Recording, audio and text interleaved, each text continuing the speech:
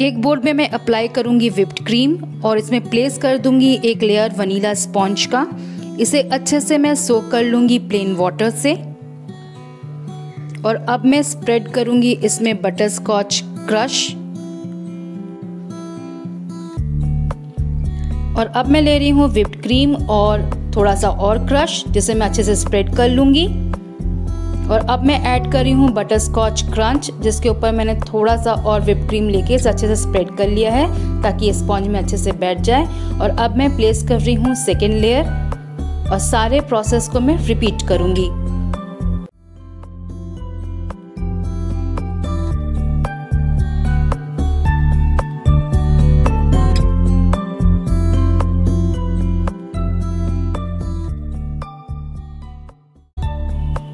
अब मैं रख दूँगी टॉप लेयर और इसकी करूँगी क्रम कोटिंग क्रम कोटिंग करने के बाद इसे मैं 10 से 15 मिनट के लिए रख दूँगी फ्रिज में, ताकि जो क्रम है वो अच्छे से सेट हो जाए।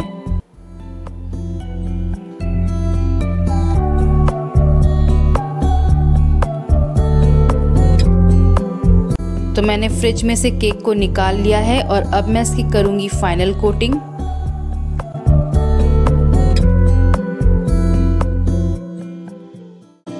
केक की फिनिशिंग हो चुकी है और अब मैं पैलेट नाइफ पे थोड़े से ड्रॉप्स ले रही हूँ येलो कलर का, जिसे मैं केक की साइड वॉल्स पे इस तरह से डॉट डॉट करके लगा दूँगी।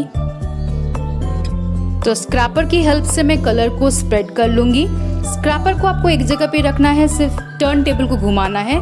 थोड़ा सा वाटर स्प्रे कर लूँगी ताकि जो कलर है वो इजीली स्प्रेड हो सके। इस तरह कलर अप्लाई करने से कलर तो कम लगता ही है, साथ में एक शेडिंग का इफ़ेक्ट भी आता है। और अब सेम प्रोसेस में केक के टॉप के ऊपर मैं करूँगी। थोड़ा सा वाटर स्प्रे कर लिया मैंने ताकि जब मैं स्क्रैपर से स्प्रेड करूँ तो कलर इजीली स्प्रेड हो सके।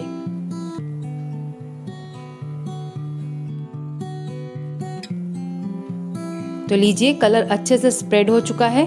देखिए कितनी अच्छी शेडिंग एक आई है। और कलर भी मुझे ज़्यादा नहीं लगा। तो मैं एक डिज़ाइन बनाऊँगी अब, जिसके लिए मैं इस्तेमाल कर रही हूँ यहाँ पे सिलिकॉन ब्रश तो साइड वॉल्स पे मैं जस्ट ब्रश को ऊपर, नीचे ऊपर, नीचे करके इस तरह से घुमाती रहूँगी और साथ ही साथ टर्न टेबल को भी मैं घुमाती रहूँगी, ताकि एक वेवी लाइंस बने, एक वेव जैसा इफ़ेक्ट आए इसमें। और अब केक के ऊपर भी मैं इस तरह से डिज़ाइन बनाऊँगी। सिर्फ़ ब्रश को मैंने एक जगह पे रखा और सिर्फ़ टर्न टेबल को मैं घुमाऊँगी। देखिए, इस तरह से एक डिज़ाइन बन जाएगा।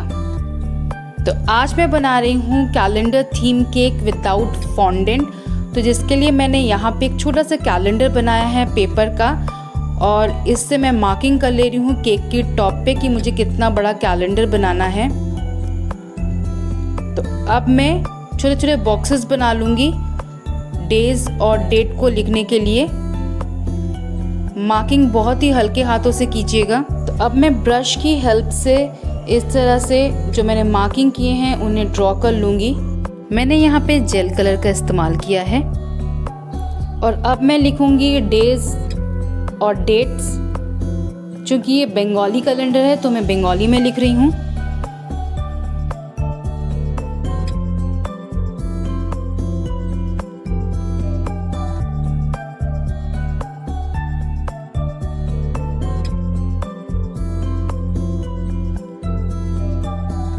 तो यहाँ मैंने पाइपिंग बैग में ले लिया है रोज़ नोज़ल और वाइट कलर की विप्ड क्रीम और जिससे मैं बनाऊँगी कुछ रोजेस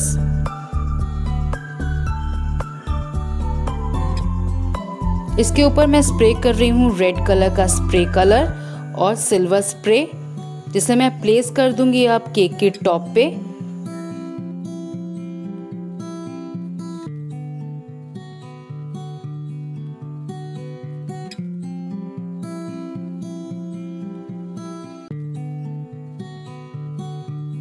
तो मैंने पाइपिंग बैग में भर लिया है ग्रीन कलर की वेप क्रीम और इस तरह से मैं डिज़ाइन बना रही हूँ, बिना किसी नोज़ल के।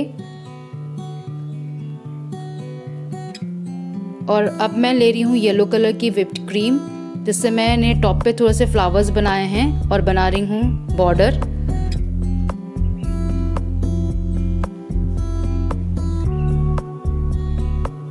तो ये है मेरे केक का final look, calendar.